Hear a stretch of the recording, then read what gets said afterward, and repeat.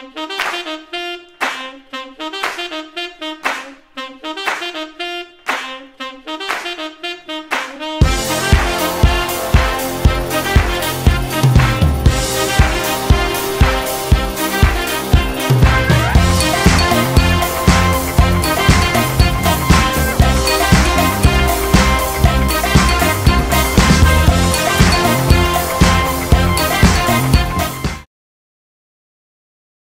I pledge allegiance to the flag of the United States of America and to the republic for which it stands, one nation, under God, indivisible, with liberty and justice for all. Hey RHS, I'm Madison Balsas. And I'm Allie Cox, and this is your daily dose for Thursday, June 7th, 2018. Teddy's is having an end of the year sale. All plants and herbs are $5. Make sure to buy something special for your teachers. The Wyandotte Marching Chiefs 2018 season is just around the corner. Anyone interested in marching band should see Mr. D'Angelo for details. Any girls interested in golf next year, there will be a short meeting today directly after school. Let's check out another human here at RHS.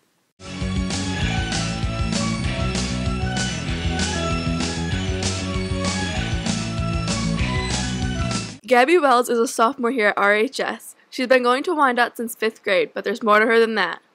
I felt the most pride in my life when um, this year, starting out this year, you know, my grades are good. I'm not like really skipping as much as I was. You know, I'm just a good student than I was last year. I felt the most lost in my life when I um, lost my best friend. I motivate myself to be my best self by just thinking about my family because I want to do well for them. The person who makes me the most happiest in my life is my family. Wow, that was interesting. Thanks, Gabby. Now back to the anchors. Thanks, Alyssa. How well do you know the fight song? Until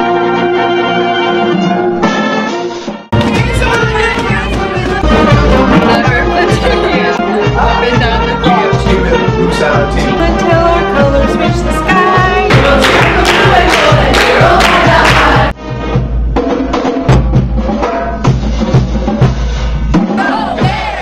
Thanks, Gwen.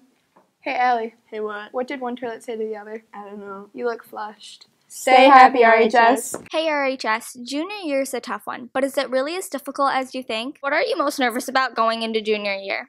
Um, definitely the SAT. I think it's going to be a lot more work than I have to do this year, and so I'll be like really stressed out.